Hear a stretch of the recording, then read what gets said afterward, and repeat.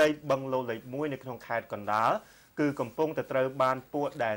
ពួកអ្នកដែលមានលុយដណ្ដើមហែកចែកគ្នាបើទោះបីជាអាជ្ញាធរបានបញ្ជាក់ថាទីតាំងមួយនោះគឺជាសម្បត្តិរដ្ឋក៏ដោយ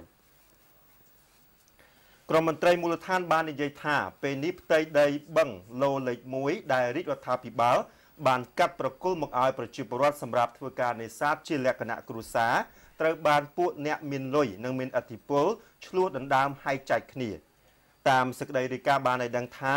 ឡូនេសាទលេខ1ដែលមានទំហំរាប់ពាន់ហិកតានោះមានទីតាំងលាតសន្ធឹងជាប់ឃុំចំនួន2គឺឃុំរកាខ្ពស់នៃស្រុកស្អាង និងឃុំអំពៅព្រៃស្រុកកណ្ដាលស្ទឹង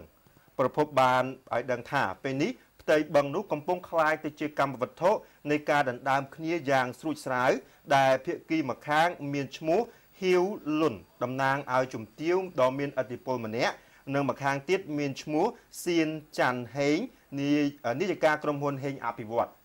តាមសេចក្តីរាយការណ៍បានឲ្យដឹងថាពេលនេះផ្នែកខ្លះនៃផ្ទៃបឹងកំពុងត្រូវបានគេចាក់ដីលុបជាបណ្ដាបណ្ដាហើយដោយប្រើប្រាស់រថយន្តរបស់ក្រសួងការពារជាតិទៀតផង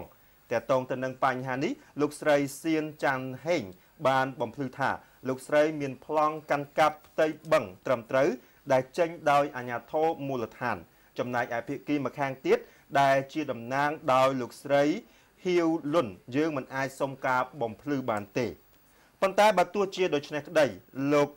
ខឹមច័ន្ទគិរីអភិបាលស្រុកស្អាងបានបញ្ជាក់ថាផ្ទៃដីបឹងដែលមានទំនាស់នោះគឺស្ថិតនៅក្នុងឡូលេខ1ដែលជាផ្ទៃបឹងរបស់រដ្ឋសម្រាប់ត្រីពងកូន ហើយបានឯណាថាមានបានកម្មសិទ្ធិសូមយកមកបង្ហាញលោក